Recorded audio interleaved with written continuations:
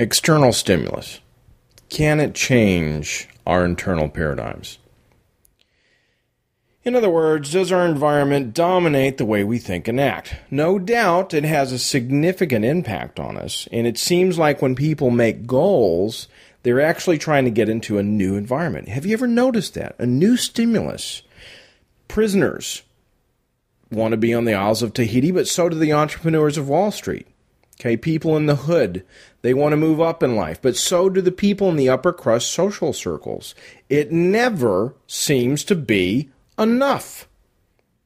Do you know that saying that there's always someone out there that's better than you? Well, if you think about it, at some point that saying has to be wrong. I mean, there's going to be the best guitar player on the planet.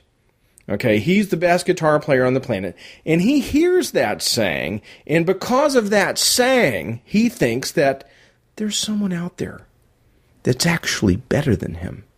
However, he'll never know.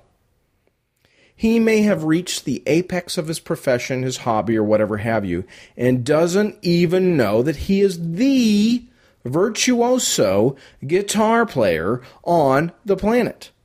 And what's worse, others don't know it either. So even if he's the best guitar player on the planet, six billion people don't know. They don't care. They don't even know the person's name. Why do we always want something better? What is it about human nature that always craves something better? And another thing, why do some of us self sabotage? Why do some of us oppose ourselves?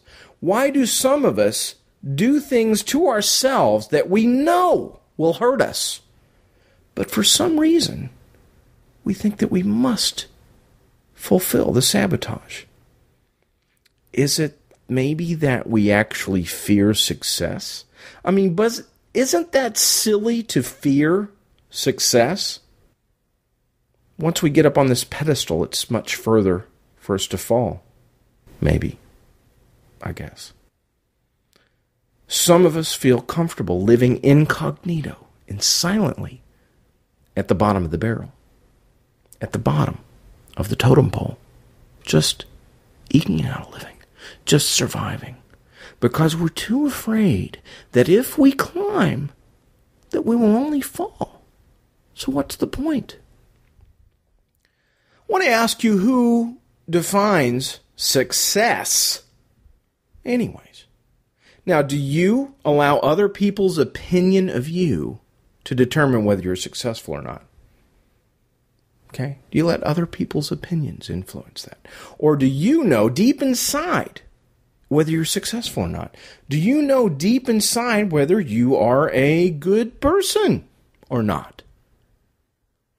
And as we know, even if you think you're a good person by your own subjective standards, the Bible says that all of our righteousness is as filthy rags.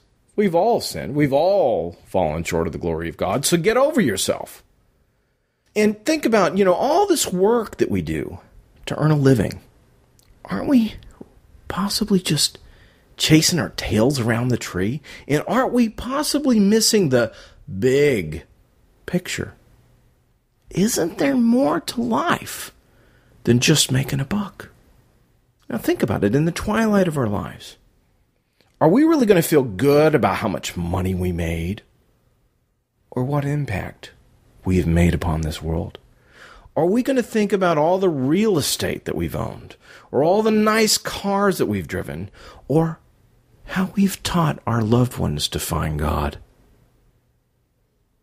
Have you ever thought that this mundane nine to five life was maybe worth walking away from? Maybe we could chase that inner voice in our hearts that's calling us to the real destiny in our lives. Have we forgotten where that voice is? Can we still hear it? Or is that inner voice, that silent voice, has it been drowned out by society's values? Or worrying about clothes or food or, or what we're going to drink? I think it's time that we quiet our minds, that we take time to reflect, to reflect on the important things in life. We need to listen for the inner song. We can't die with the music still inside. We've got to get it out there. We need to not only make a difference, but we need to make the difference that we were meant to make. Don't chase someone else's dream. Don't fulfill someone else's destiny.